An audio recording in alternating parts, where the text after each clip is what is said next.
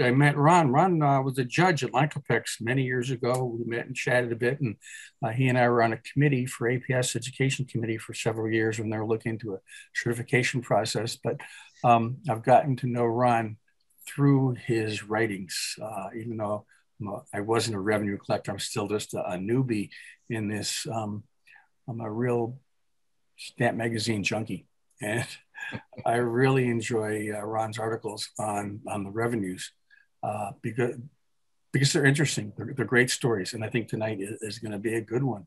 Um, you'll see uh, his writings in Stamp American Stamp Dealer and Collector, in Linn's, uh, in some of the, the, the, the just revenue journals. Uh, so they're all over, and one, one's better than the other. So we're always glad to, to have you. So Ron, uh, without further ado, you uh, you're going to advance your own slides. I am, and, and, we have them as backup. And do you want questions during or after? Absolutely, absolutely. Anytime. Very good. Okay, sir, you're on. I should add one more thing. I grew up in Ephrata, Pennsylvania. Very good. Uh, let's see. One more click. And all right, let's get back to the beginning here.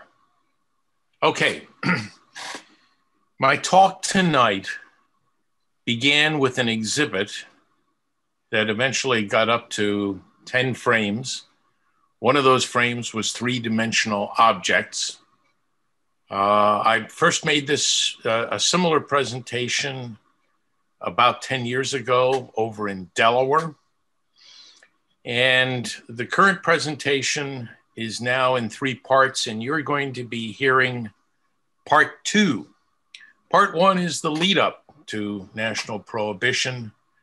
Part three is the aftermath, the brief period in 1933 when they changed the definition of intoxicating beverage. What we should first start with is the 18th Amendment. The 18th Amendment, I'm going to read part one, section one of that amendment.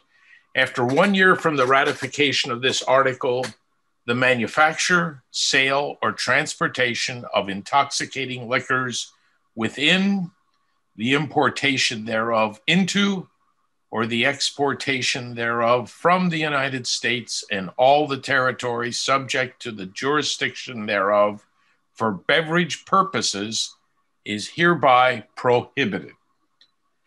Um, they intentionally did not define intoxicating beverage in the amendment itself.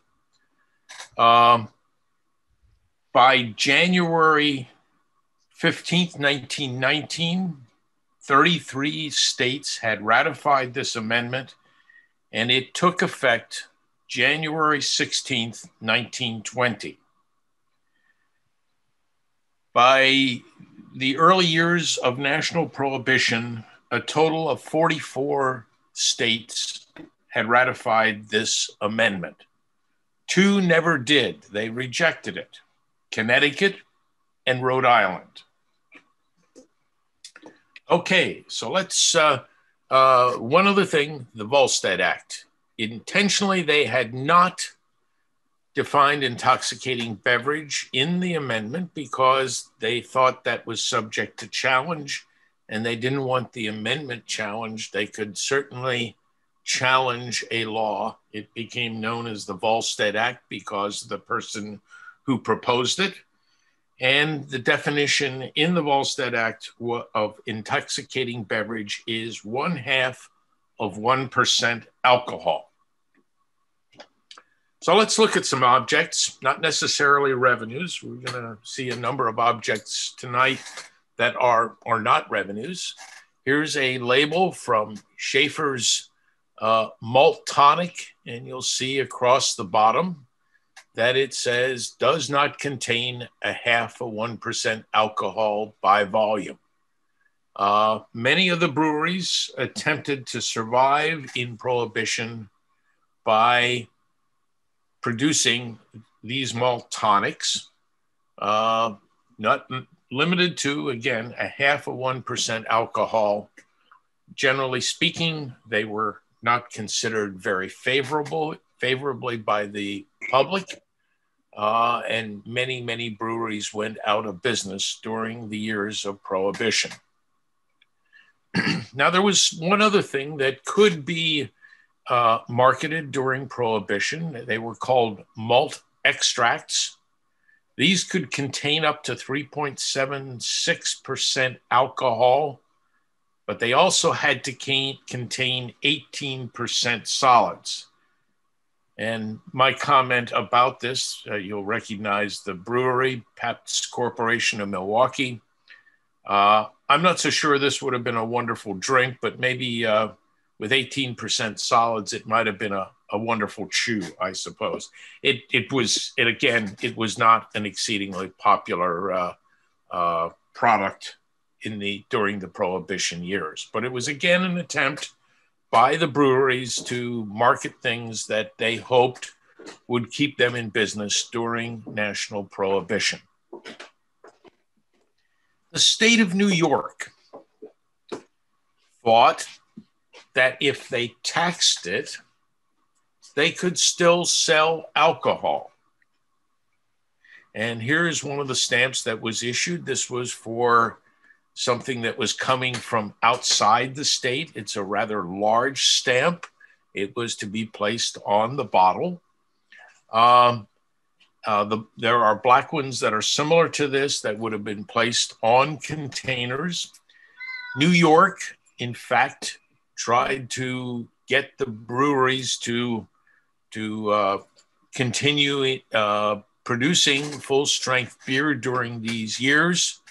Uh, it was eventually challenged in court, and in May 1921, the courts ruled otherwise, and this law uh, was was in fact uh, struck down. But during during up until May of 1921, over a year into national prohibition, um, it was legal, and I've got used examples of this in my collection, uh, in which uh, they could uh, supposedly market uh, beverage alcohol. Uh, now, the state of Michigan in the late 1920s decided that there were a lot of people who were beginning to brew home uh, beer, beer at home, which was perfectly legal uh, for their own use. Uh, but uh, uh, they decided to, talk, to tax malt. And these are uh, one of the ingredients for, for making home brews. Uh, these are two slightly different examples from 1929 and 1930. Uh, the, the tax on malt and wort as uh, the liquid uh, give you a couple of another example of this. I am happen to be very proud of this. This is a face value ten dollars, and it's a pair. And yes, I know it's got a hole in it, and it's got damage up there in the center top.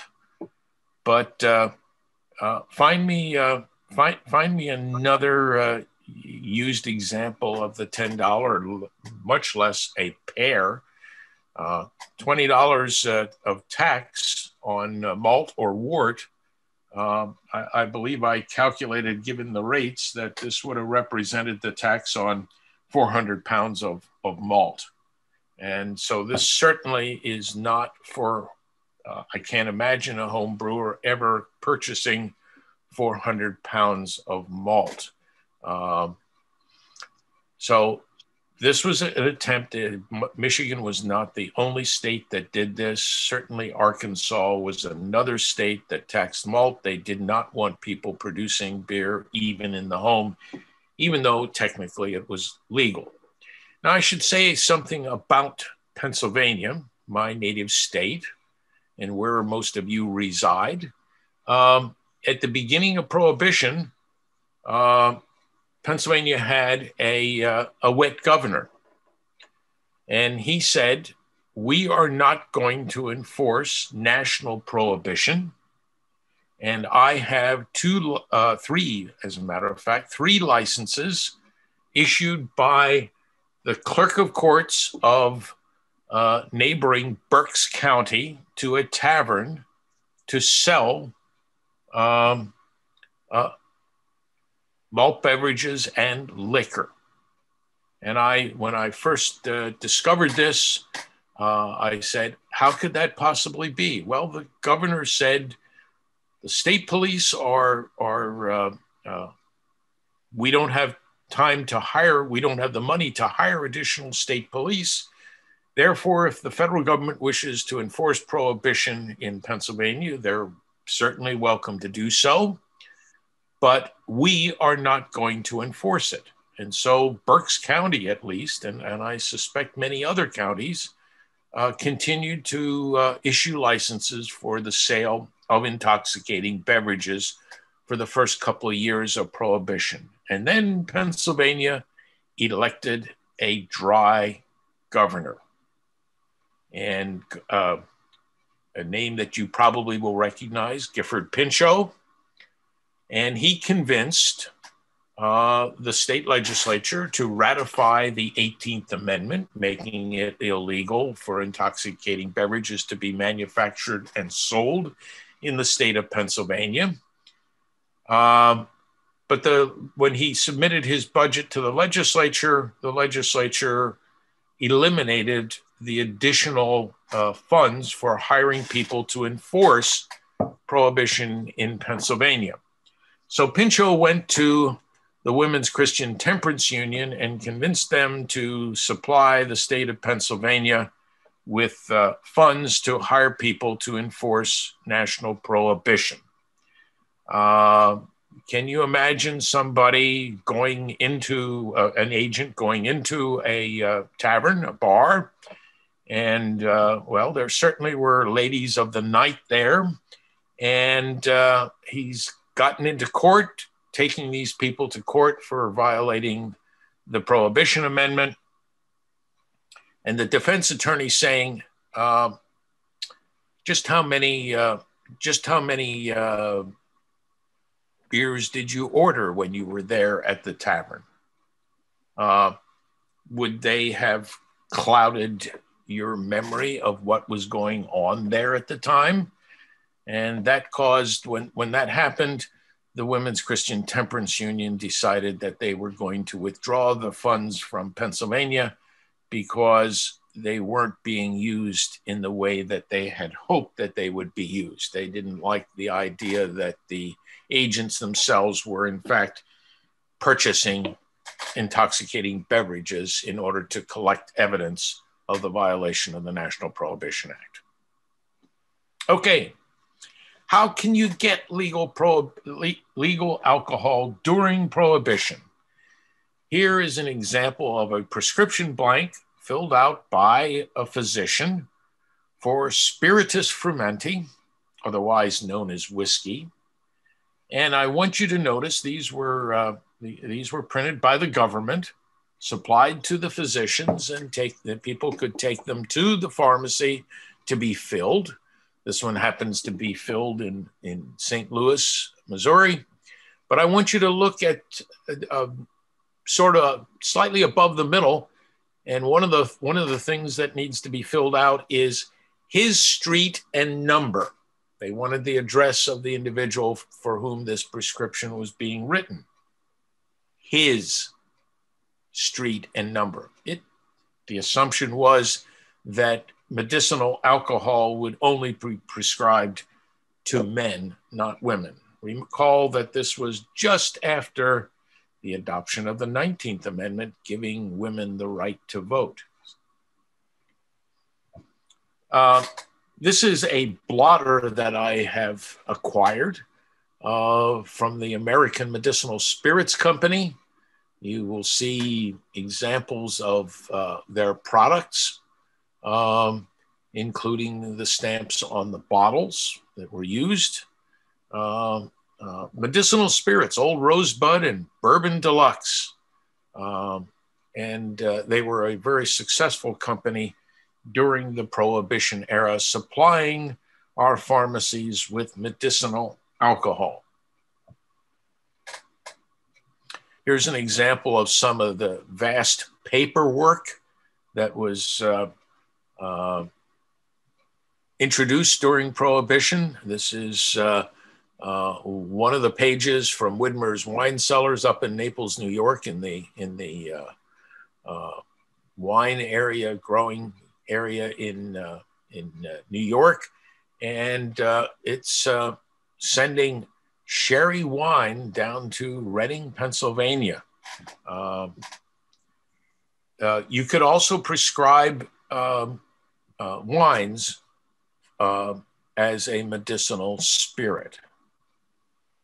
This is uh, the second page of that. Uh, again, lots and lots of uh, um, lots and lots of paperwork to document the legal purchase of, of distilled spirits and wine during Prohibition.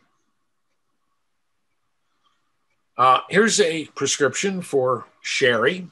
Again, this is from the beginning of Prohibition. This is 1922. Uh, uh, this is in California. I bet most of you didn't realize the wonderful medicinal uh, qualities of sherry. As if the federal paperwork was not enough, in the state of Texas, the physician had to not only fill out the federal prescription blank, but they also had to fill out the state blank as well. And so both of these went off to the uh, to the pharmacy to be filled. Uh, again, this one says whiskey, uh, tablespoon as as prescribed as directed. Um, again, uh, this is uh, actually the third of the prescription blanks that were used during Prohibition. Here is a counterfeit prescription blank from Brooklyn. Uh, physicians could get these books with the prescription blanks printed by the government. This, uh, uh, the one in the previous slide, was actually printed by the Bureau of Engraving and Printing. Uh, physicians were limited as to how many prescriptions they could use per month. And if they tried to write more prescriptions than that, um, they had to wait until the time was up and then acquire another book of 100 prescriptions. And so I was very fortunate in finding a small group of counterfeit prescription blanks from Brooklyn, like this, also a different. Uh, um, one with prefix B on it that was used earlier than this one. Uh, they were all filled in the same pharmacy. So, again, these would have wound up in a pharmacy and they were rescued from that pharmacy.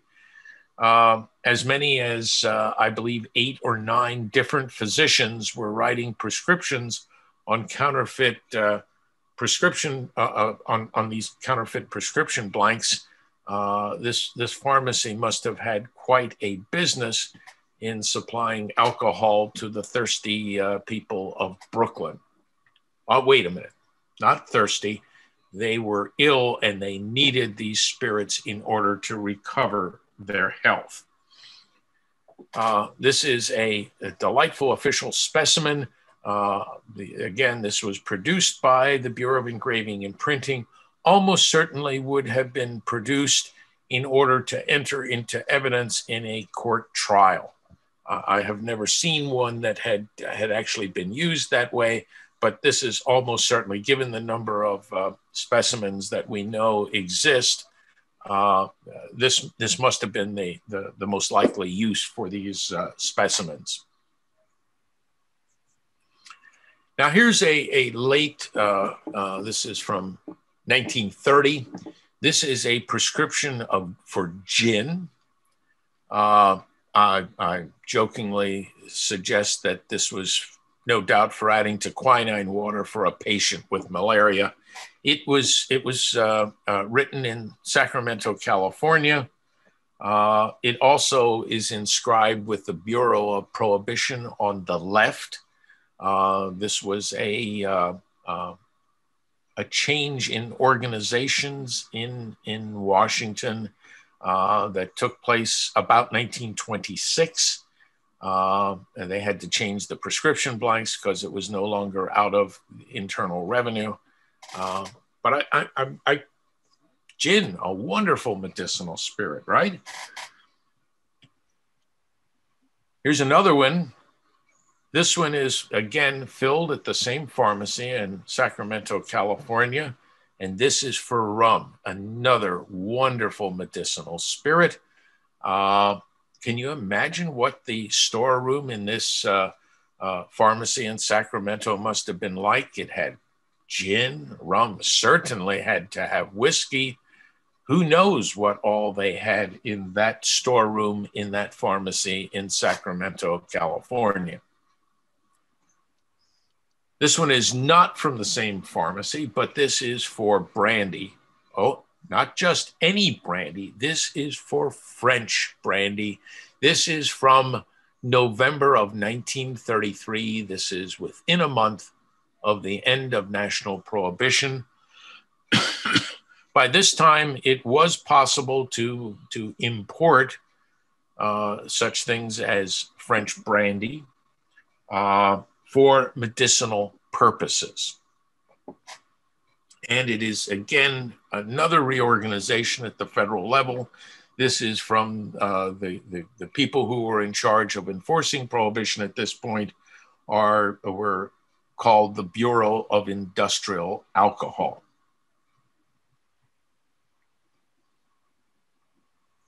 Another acquisition uh, that I made rather recently, and during 1933, after after uh, uh, Franklin D. Roosevelt was uh, uh, installed, inaugurated as, as our president. he had run on, on a, one of the planks in his platform was to, was to legal, to change, initially to change the definition of intoxicating beverages and also to uh, uh, repeal the 18th Amendment but in, in this period of time, it was also possible to prescribe more than a pint. Uh, up until up until this time, up until early 1933, uh, the maximum amount that one could uh, prescribe and fill at a uh, pharmacy was a pint, and that had to last at least a month. I've been I've been looking for prescriptions for the same person that were filled illegally more frequently than that. I have, have yet to find that, even though I have found some prescription uh, books uh, with the stubs in them filled out for a single physician, and uh, even in Chicago. And, and to date, I have not found any violations by physicians. Uh, other than those uh, ones that were obviously prescribing a lot of uh, whiskey in Brooklyn and, and had to resort to counterfeit uh, uh, prescription blanks. Okay, so that's the story of, of, of prescription alcohol, medicinal alcohol. Was that the only way to obtain uh, alcohol during Prohibition, the only legal way? And the answer to that was no.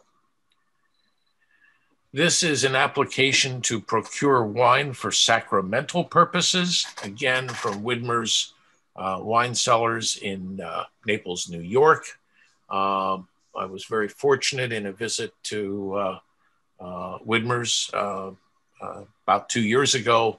Um, the original family that had owned Widmer's had, when, when the last surviving members of that family died, in her will, she said that all the paperwork relating to Widmer's was to be destroyed. And in fact, very uh, labels and, and everything from before that date uh, were destroyed, except that the person that I talked to said, wait a minute, if I think if we go over there to uh, the next building, I think up in the up in the attic, if you're willing to climb up there, I think I found something that uh, evaded being uh, uh, destroyed at that time and uh, I was able to acquire from her a number of these applications to procure wine for sacramental purposes, and also the similar ones for uh, um, uh, shipping wine for medicinal purposes that you saw earlier in my presentation. Uh, again, these, these do not seem to be very common. Wine for sacramental purposes, here's a tag from the Italian Vineyard Company. They have a permit for supplying. Uh, this is written uh, in 1924 to the Reverend Charles Murphy of San Diego, California. And if we flip the over the back of this tag, there would be 40 cents in tax stamps, enough for a gallon of sweet wine.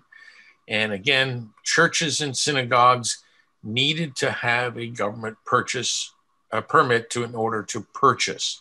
And also the supplier also needed the permit, which we, we saw on the previous slide. Now, one of the one of the prizes of my collection is is this this example. It is called a book wine stamp. You see, it has a a tablet attached to the stamp itself, the twenty dollar stamp. Uh, this was for the attaching of additional stamps to make up a rate for a a barrel of 50 and a half gallons of altar wine. Uh, nice uh, bold cancellation, handwritten calculation uh, cancellation, and this is from the novitiate of Los Gatos in in California, and they were uh, uh a, a, supplier of altar wines, and they and the way they supplied it, they didn't bottle it, they they supplied uh, uh, barrels of of wine to to churches and, and potentially synagogues as well. Uh, one of the stories that I have read, I've seen uh, describing the history of wine during Prohibition was that there were people who went to phone books, picked out as many of the Jewish sounding names, and applied for a, uh, a, permit in order to, to uh, acquire sacramental wine to be distributed during the high holy days to their synagogue, which consisted of the people that were listed on the uh, on the application.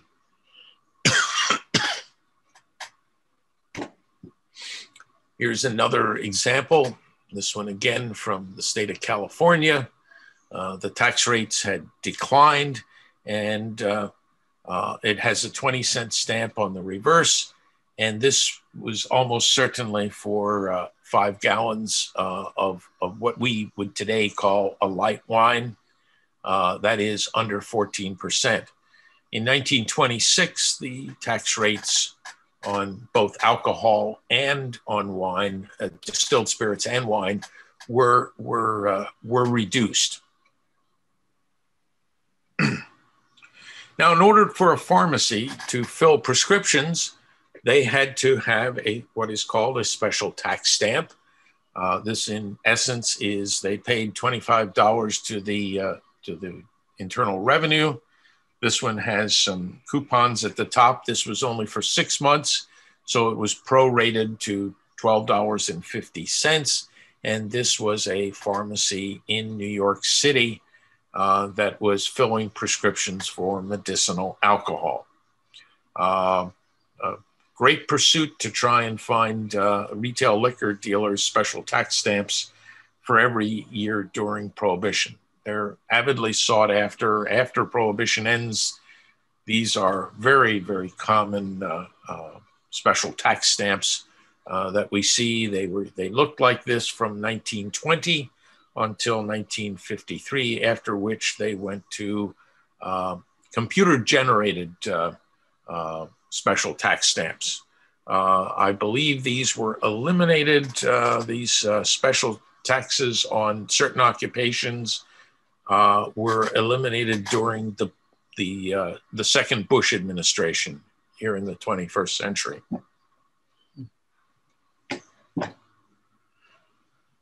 Some of us are old enough to remember that uh, there were federal stamps that crossed the top of our bottles of whiskey and such. This happens to be for a bottled and bond distilled spirits. It is, again, uh, this was bottled at 100 proof. In other words, it's 50% alcohol. This was for a quart. Uh, they've altered the dates. It's bottled in the spring of 1920, so this would have been uh, bottled during uh, uh, a prohibition. Uh, I suspect that if this was and and, I, and, it was used, I suspect that this if this went to a pharmacy, they uh, they had to rebottle it in the pharmacy if they were to they couldn't fill a prescription for more than uh, for a pint. the reason for bottling and bond these stamps came into use in 1897. Prior to 1897, most uh, whiskey was shipped out of uh, out of the distilleries uh, to wholesale liquor dealers in barrels, and uh, it was bottled locally. But in 1897, uh, the distilleries had uh, uh, reached out to Congress and allowed them to bottle it in the bonded warehouse and keep it there for a maximum of eight years without having to pay the tax. When it left the bonded warehouse, the tax had to be paid. Ah, yes, the moonshiners. This is a counterfeit green strip stamp that would have been used for 100 proof alcohol. It is, uh, uh, you will see the, the bottle label for Melvale's Pure Rye Whiskey. I want you to note the spelling on the bottle label of Melvale, M E L, one L there, V A L E. And now, if we look at the green strip stamp that was to be placed over the top, take a look at how Melvale is spelled there. It's M E L L V A L E. So, which was it? Was it with one L there or two L's? I don't know. But this was put on in order to, to convince the potential customer that you're getting good pure rye whiskey from this uh, Maryland distiller.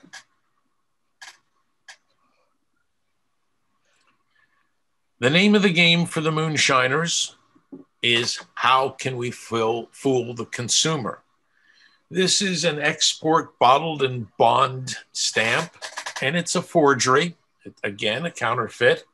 Um, it uh, it's trying to tell the consumer we really care about you. We smuggled this, it had been exported prior to prohibition, and we brought it back just for you. This is good whiskey smuggled back into the United States. the problem is that the genuine stamp would have been engraved, and this is not an engraved stamp. And in fact, it's a crude imitation.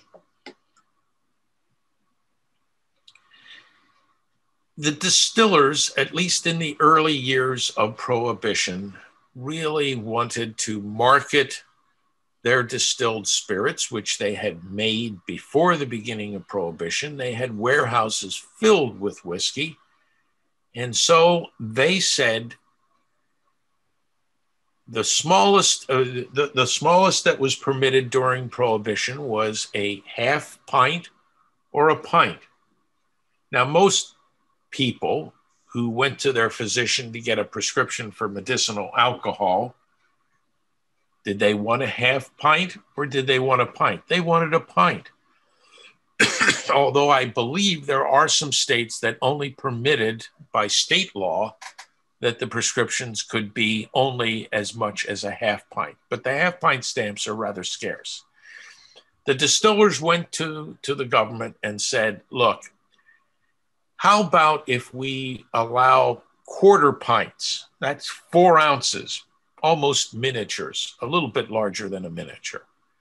Uh, we'd like that because we can market it to physicians. And that way, the physician, and I remember this when I was very young, uh, frequently, uh, if I was getting a prescription, the physician would give me the beginnings of that prescription uh, as I left his his or her office, and before I got my prescription filled at the f- local pharmacy, I could be on my way to to recovery because I had the prescription. So this was marketed to physicians so that they could give out these things, the quarter pints, to their to their uh, uh, uh, people, uh, and so they could be on the road to recovery even before they got to the pharmacy to fill their prescription for a pint of medicinal alcohol.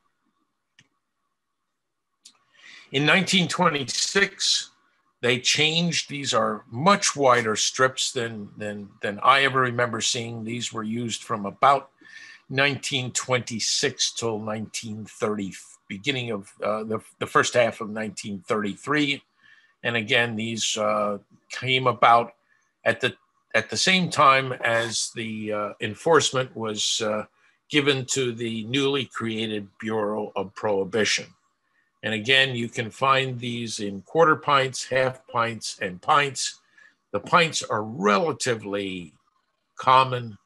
Uh, I must have 20, 25 of these from different uh, distilleries.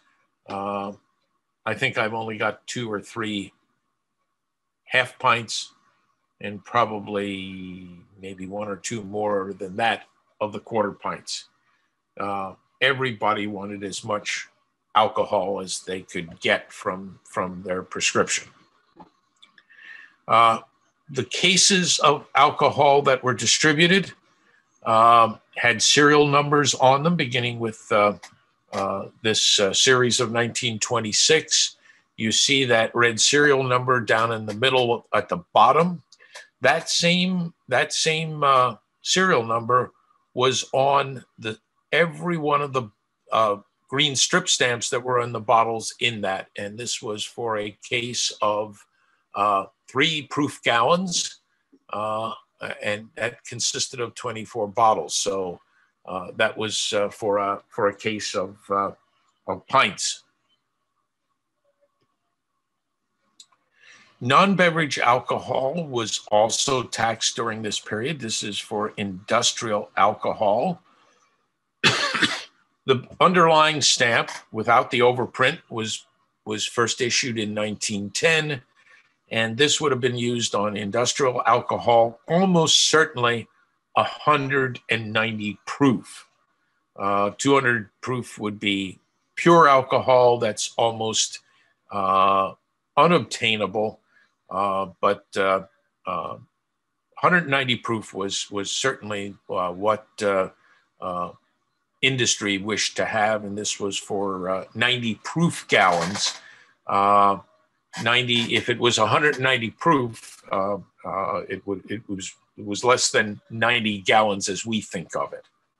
Uh, okay, actually 90 98.8 counting the coupons at the top.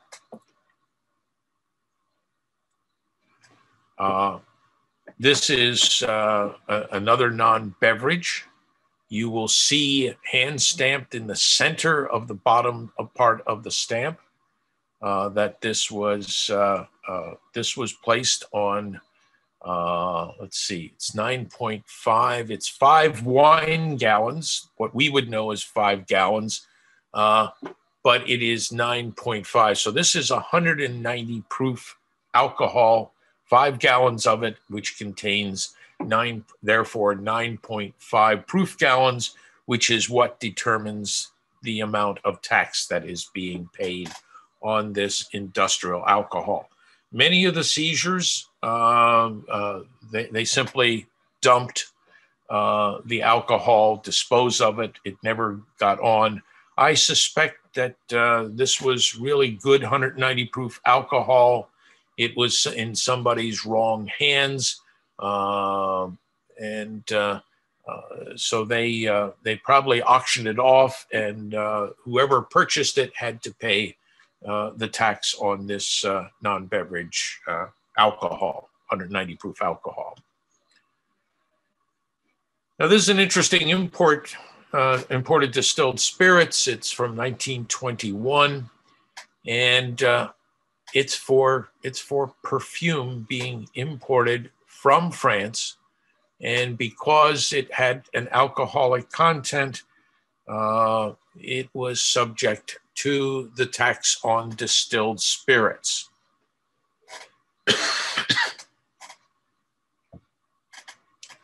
and finally, uh, uh, I've got some lock seals here. These were from the uh, the Prohibition Bureau from post 1926, somewhere between 1926 and about 1930.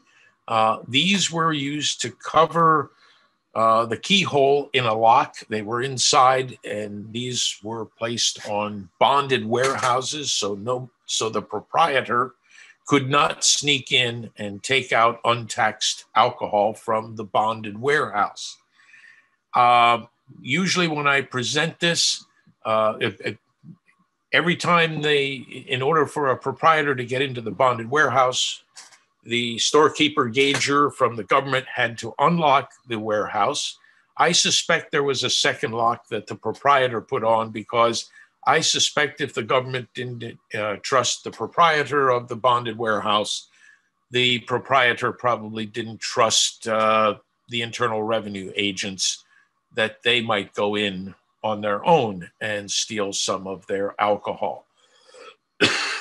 These, of course, were unused. We've got a plate number at the top.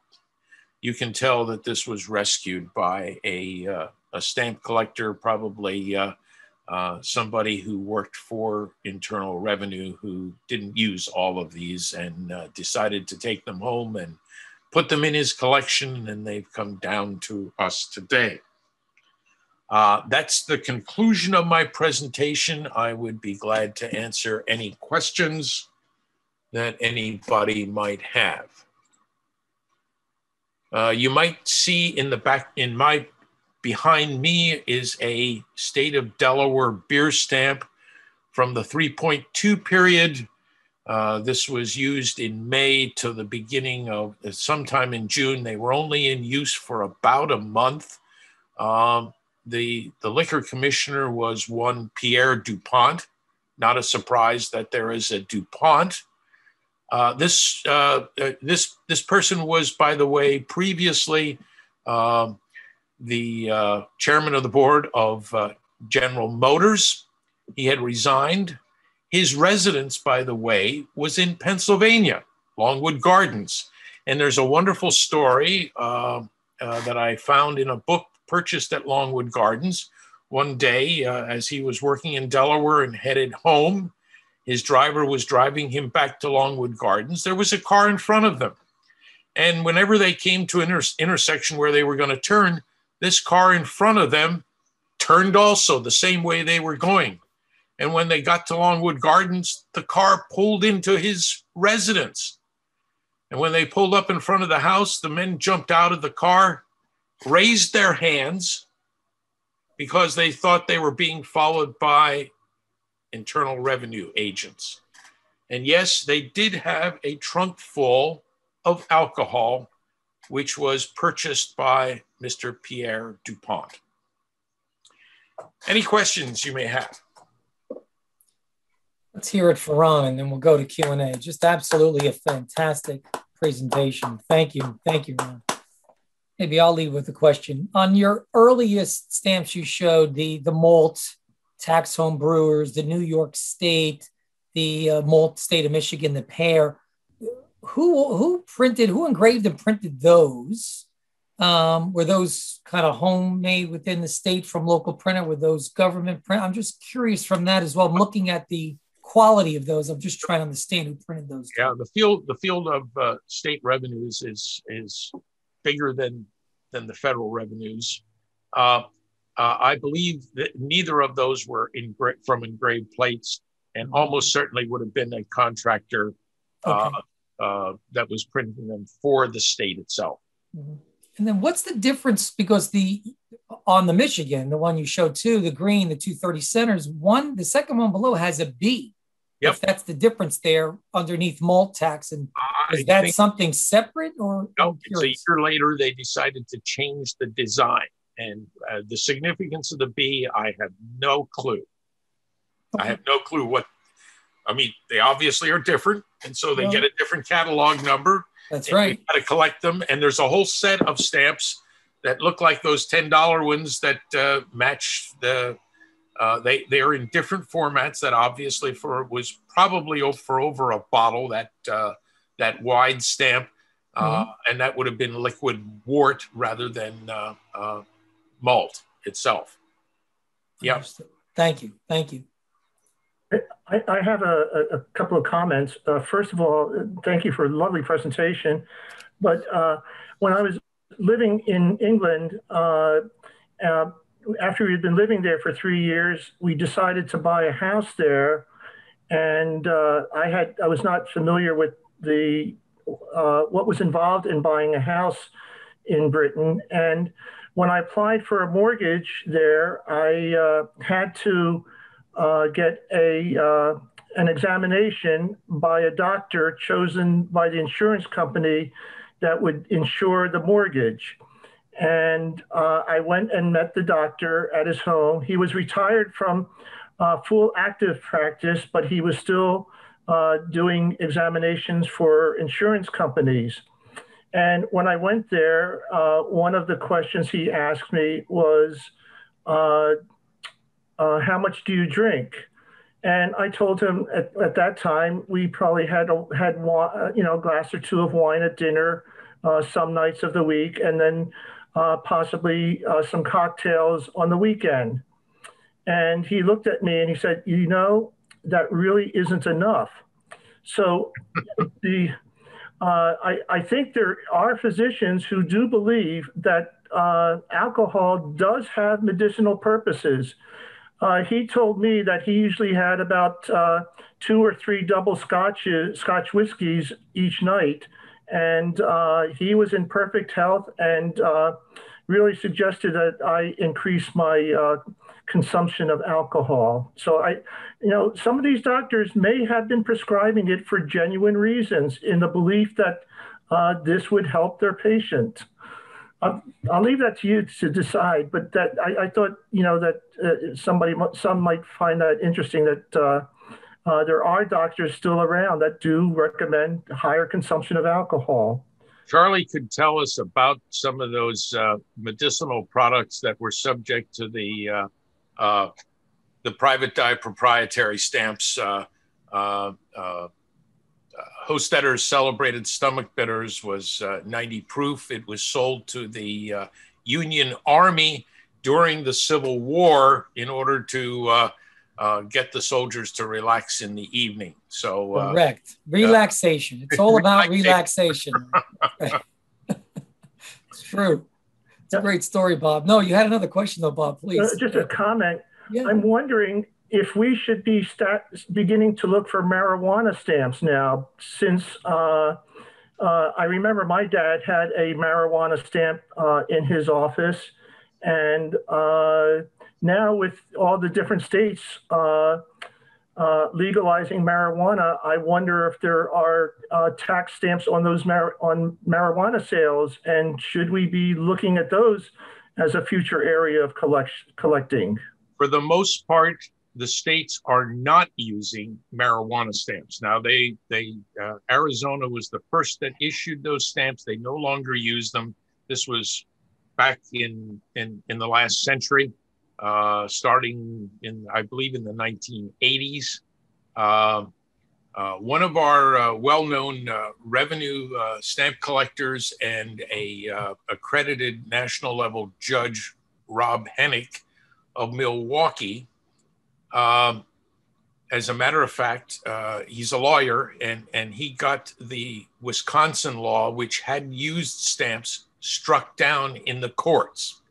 Uh, most of those state laws prior to recent years, um, uh, most of those laws were struck down in one way or the other. There is there is quite a collection of them. Uh, Illinois, uh, uh, Colorado, uh, Arizona. Um, I'm trying to think of some other states. Tennessee certainly used them. Uh, but uh, uh, to the best of my knowledge, none of those. Rhode Island used them. None, none of those. you can purchase them on eBay. the State Revenue Society has acquired some of them, but all of those are obsolete. Now, if you want current marijuana stamps, you'll have to look to Canada. And and they, uh, I've been trying to get one from each of the their each province has their name on them, and and I've got about seven different the the remaining ones, even even some places like Manitoba. I have never seen one offered on eBay. Uh, uh, Newfoundland, I have never seen, uh, uh, and so on. The, the, some of them are, are, are fairly common, but uh, Saskatchewan and uh, Manitoba, you would think would would be relatively easy to pick up, but nobody has has yet acquired any and, and listed them on eBay. Uh, you, by the way, you can find if you want if you're interested in U.S. marijuana stamps they were only in use from about 1937 till uh, 19 the early 1970s. Um, uh, they are almost unknown used. I know of one um, one dollar stamp used. The other denominations are only used from the dispersal of of, ex, of, of the stamps from the the postal museum uh, and uh, uh, one or two people gathered up all of them, and they tend to be pricey, um, a couple hundred dollars a piece uh, for for every one of them, uh, and sometimes a little bit more than than that. Um, but uh, find them on a document. I, there was one on the cover of the American Philatelist back in the 1990s uh, the person that owned that has now died. I have no idea what happened to that document, and that's the only one in document. And from what, from the best of my knowledge, there's only one one dollar used. The rest are unused. Ron, Good questions. Good questions. Um, you mentioned, I think it was Widmer's Pharmacy. That the Widmer's, last... Widmer's uh, uh, wine cellars. Yeah, they were the right. They were the last ones. Uh, the the last relative was the one who wanted all the documents destroyed. Yep. When was when when was that? Do you remember? Uh, I, I, believe in the uh, in the 1970s or 80s. Okay. okay. Uh, the the the Widmer's wine cellars. I I I went up to Ropex a couple of years ago and and uh, surprise surprise I did a little detour t- uh, to uh, to make sure that I got to Widmer's. Um, Widmer's, after her death, um, went through, it, it, kept being purchased by different companies and, and some not direct relatives, but some relatives of the Widmer family have reacquired it, and it is back under the name of Widmer. Mm-hmm. Now, the other interesting thing about them, I I, uh, I was introduced to a dessert consisting of pears, camembert cheese, and Widmer's Lake Niagara wine, a sweet white wine for dessert. I was that was a college classmate of mine introduced uh, me to that when I lived out in the Pittsburgh area, and and Widmer's Lake Niagara disappeared. I didn't know why it disappeared from the stores, but obviously the company, the, the vineyard had been gone under different names and they are back producing that. And the grapes themselves, from which they make that particular wine, have asparagus growing along with the grapes. And that is a contributing factor to the taste of this wine. Uh, it's uh, they don't. They, it isn't under the name of Widmer, but uh, it's it's under a, a new name something cat. Uh, I'll, I'll try and get that for you and, and, and, and let you know after, after the meeting. Thank you. Hey, Ron, a question on the moonshiners. I mean, clearly these are pretty, you know, there was a lot of them out there, right? They were trying to peddle their wares and creating yeah. these labels and these, these various tax stamps. And, and the Melvale was one that you talked about with even, yep. even the changing of the name. And, you know, the stamp had the two L's the label had the one L, but I did notice on the bottom of that label that that red hand stamp, I guess it said bottled in bond. The Melvale that was there had two L's too. So even on it, they had two different spellings on it, actually on the on the label itself. Yeah. So, any rhyme or reason to that? Are they trying to just take take people Uh, down I, I think it was. I. I think it was a, a poor example, a, a bad example of uh, proofreading uh, Yeah. design. They There they went go. to the cheapest printer they could find Got to it. produce them. All right, I'm just saying they, they really messed that one up across the board. I presume though these are out there, right? There's just a, quite a bit, a pretty broad array of the moonshiners and the, the fake labels too, right? The forged labels across the board. Is that right? I'll tell you one. You know, I'm a storyteller. Yes. I used to work for Eric Jackson at the New York shows. And uh, uh, this was a number of years, quite a number of years ago, more than 20 years ago. And somebody came into his booth on Saturday and had stacks of label of, of the of the prohibition bottle labels, the, the the wide ones. And they were they were sort of in a in a wax paper. And big stacks of them and and and three different uh, three different types of whiskey. Um, Eric was busy with another customer, so I got to look at them first. And the first thing I did, of course, was to hold them up to the light. No watermark. so of course I looked to Eric and, and and at that time, by the way, the counterfeit green strip stamps from Prohibition would bring 20 $30 a piece. They were not common. Well, Eric, Eric acquired all of these, and those three, um, and Eric asked him if he had any more. And the guy said, Yeah, I do have a few more. I'll bring them in tomorrow. So Sunday, he brought the rest of them in. Eric bought them. So Eric asked him, Where'd you find these? Oh, well, we were demolishing a build, building over in Hoboken and we found them in the wall. So we we know that that was quite an operation, and they were producing um, imitations of multiple kinds of whiskey, uh, and I call those moonshiners, as opposed to the bootleggers, who are the guys who are smuggling it in Sure. abroad. Yep. Yep. It's a great find. That's a great story, Ron. Thank you for sharing. Any other questions for Ron, please? Just a fascinating topic and subject. If you have not dove in, you know, Ron will definitely help you get more, even more acclimated to this fascinating topic. Pick your favorite state or city, right, or county, and you could find someone that was producing some sort of bathtub, whatever you want to call it. And you know, I like my gin, so I'm very I lean towards gin. so that's for Uh, sure. growing growing up in Ephrata, I remember my father telling me the story. There's a a, a, a ridge that separates, I believe, Lancaster County from Chester County that is known as the Welsh Mountains.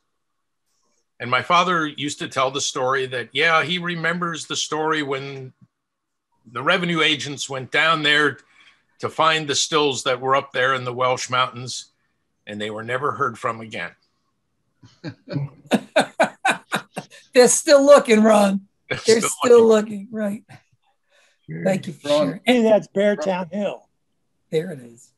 Yep. Ron, I, I live near Reading. You mentioned that there were you had three light tavern licenses from Berks County. Are those taverns still in existence? No. Do they have the name? Do you have the name on the tavern? Yeah, but I, I- they're not in front of me, uh, and I, I can't tell you. Uh, uh, I have photographs of the tavern. It was, it looked like a, almost like a house that was along the road, and and and they opened up the the first floor as a as a tavern. But uh, I'll tell you what, I'll uh, I'll I'll get the information to Paul, and he can share it with you. I'll send it out. Okay, appreciate it. Ron, I have a comment about Welsh Mountain. The ridge that is right on the county line actually has a low grade uranium ore in it. And there's radon in the well water that comes from there. So I wonder if that got into the dis- distills that they were, they were making the, uh, the hooch. And so you, you would have both the alcohol and you would have radiation. Oh, terrific, terrific. So the mountains were glowing. The mountains were aglow Yeah. on certain evenings. Sure. That's great. Uh, Um, Questions for Ron? I have a comment about uh, different spellings. Um, I don't know if you've ever run into um, different spellings for, for Emmaus, which is a town close to, to um, Allentown. Yep. Um, sometimes spelled with one M and sometimes spelled with two. In fact, I think the town officially is one M and Emmaus Avenue is two M's. And I recently discovered that uh, it was settled by Germans, and the name in German had an M with a line over the top, which in German meant it was doubled.